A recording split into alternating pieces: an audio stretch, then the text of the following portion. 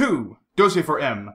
Two weeks before, this memorandum had gone from Station S of the Secret Service to M, who was then and is today head of this adjunct to the British Defense Ministries.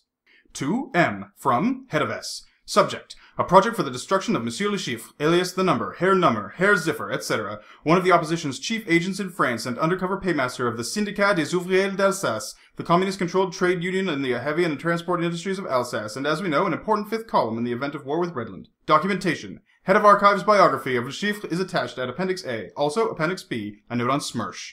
We've been feeling for some time that Le is getting into deep water. In nearly all respects, he is an admirable agent of the USSR, but his gross physical habits and predilections are an Achilles heel of which we've been able to take advantage from time to time, and one of his mistresses is a Eurasian, number 1860, controlled by Station F, who has recently been able to obtain insight into his private affairs. Briefly, it seems Le is on the brink of a financial crisis. Certain straws in the wind were noticed by 1860, some discreet sales of jewelry, the disposal of a villa at Antibes, and a general tendency to check the loose spending which has always been a feature of his way of life. Further inquiries were made with the help of our friends at the Deuxième Bureau, with whom we have been working jointly on this case, and a curious story has come to light. In January 1946, Le Chiffre bought control of a chain of brothels, known as the Cordon Jaune, operating in Normandy and Brittany. He was foolish enough to employ for this purpose some 50 million francs of moneys entrusted to him by Leningrad Section 3 for the funding of soda, the trade union mentioned above.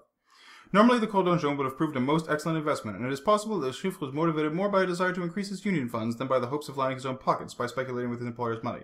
However that may be, it is clear that he could have found many investments more savory than prostitution if he had not been tempted by the byproduct of unlimited women for his personal use.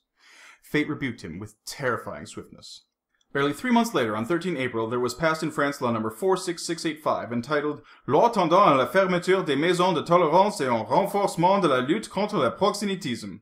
When M came to this sentence, he grunted and pressed a switch on the intercom. Head of S? Sir! What the hell does this word mean? He spelt it out. Pimping, sir. This is not the Berlitz School of Languages, head of S. If you want to show off your knowledge of foreign jawbreakers, be good enough to provide a crib. Better still, write in English. Sorry, sir. M released the switch and turned back to the memorandum. This law, he read, known popularly as La Loi Marthe Richard, closing all houses of ill fame and forbidding the sale of pornographic books and films, knocked the bottom out of his investment almost overnight, and suddenly Le Chiffre was faced with a serious deficit in his union funds. In desperation, he turned his open houses into maisons de passe, with clandestine rendezvous could be arranged on the borderline of the law, and he continued to operate one or two cinémas bleus underground. But these shifts served in no way to cover his overheads, and all attempts to sell his investment, even at a heavy loss, failed dismally. Meanwhile, the police des Moeurs were on his trail, and in a short while, twenty or more of his establishments were closed down. The police were, of course, only interested in this man as a big-time brothel keeper, and it was not until we expressed an interest in his finances that the Deuxième Bureau unearthed the parallel dossier which was running with their colleagues at the police department. The significance of the situation became apparent to us and to our French friends, and in the past few months, a veritable rat hunt has been operated by the police after the establishments of the Cordon Jaune, with the result that today nothing remains of the Chiffre's original investment, and any routine inquiry would reveal a deficit of around 50 million francs in the trade union funds of which he is treasurer and paymaster.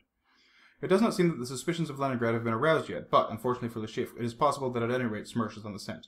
Last week, a high-grade source of Station P reported that a senior official of this efficient organ of Soviet vengeance had left Warsaw for Strasbourg via the eastern sector of Berlin. There is no confirmation of this report from the Deuxième Bureau, nor from the authorities in Strasbourg, who are reliable and thorough, and there is also no news from the Chiffre's headquarters there, which we have well covered by a double agent, in addition to 1860. If Chiffre knew that Smersh was on his tail, or that they had the smallest suspicion of him, he would have no alternative but to commit suicide or attempt to escape. But his present plan suggests that while he is certainly desperate, he has not yet realized that his life may be at stake. It is these rather spectacular plans of his that have suggested to us a counter-operation, which, though risky and unconventional, we submit at the end of this memorandum with confidence. In brief, Le Chiffre plans, we believe, to follow the example of most other till robbers and make good the deficit in his accounts by gambling. The bourse is too slow. So are the various illicit traffics in drugs or rare medicines, such as oro and streptomycin and cortisone. No racetracks could carry the sort of stakes he will have to play, and, if he wins, he would more likely be killed than paid off. In any case, we know that he has withdrawn the final 25 million francs from the treasury of his union, and that he has taken a small villa in the neighborhood of Royale-les-Eaux, just north of Dieppe, for a week uh, from a fortnight tomorrow. Now, it is expected that the casino at Royale will see the highest gambling in Europe this summer. In an effort to wrest the big money from Deauville and the Touquet, the Société des Bains de Mer de Royal have leased the Baccarat and the top two chemin de fer tables to the Mahomet Ali Syndicate, a group of emigre Egyptian bankers and businessmen with, it is said, a call on certain royal funds who have for years been trying to cut in on the profits of Zographos and his Greek associates, resulting from their monopoly of the highest French Baccarat banks. With the help of discreet publicity, a considerable number of the biggest operators in America and Europe have been encouraged to book at Royale this summer, and it seems possible that this old-fashioned watering place will regain some of its Victorian renown. Be that as it may, it is here that Le Chiffre will, we are confident, endeavor on or after 15 June to make a profit at Baccarat of 50 million francs on a working capital of 25 million, and, incidentally, save his life. Proposed counter-operation. It would be greatly in the interest of this country and of the other nations of the North Atlantic Treaty Organization that this powerful Soviet agent should be ridiculed and destroyed, that his communist trade union should be bankrupted and brought into disrepute, and that this potential fifth column, with a strength of 50,000, capable in time of war of controlling a wide sector of France's northern border, should lose faith and cohesion. This would result if Le Chiffre could be defeated at the tables. NB. Assassination is pointless. Leningrad would quickly cover up his defalcations and make him into a martyr. We therefore recommend that the finest gambler available to the service should be given the necessary funds and endeavor to outgamble this man.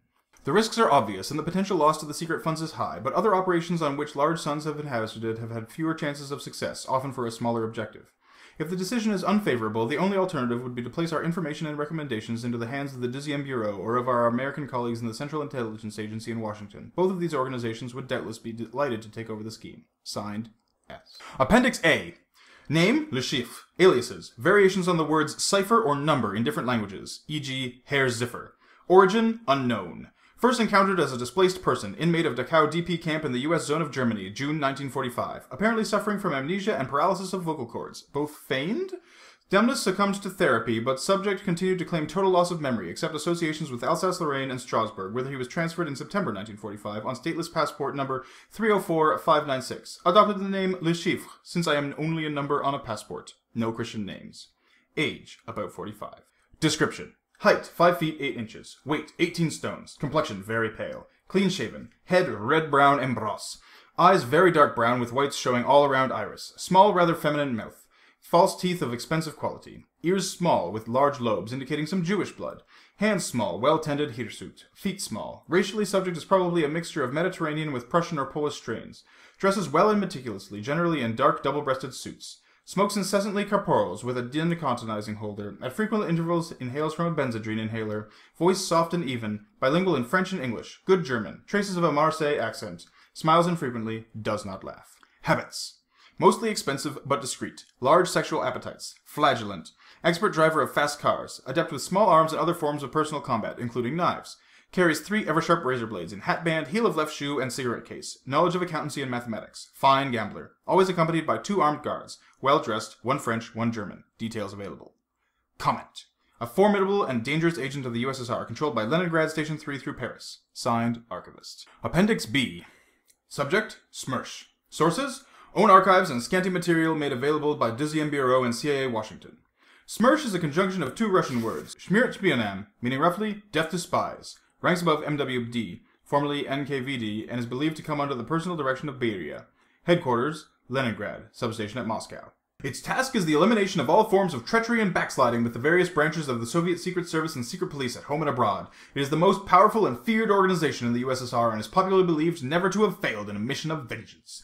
It is thought that Smersh was responsible for the assassination of Trotsky in Mexico, 22 August 1940, and may have indeed made its name with this successful murder after attempts by other Russian individuals and organizations had failed. Smersh was next heard of when Hitler attacked Russia. It was then rapidly expanded to cope with treachery and double agents during the retreat of Soviet forces in 1941. At that time, it worked as an executive squad for the NKVD, and its present selective mission was not so clearly defined.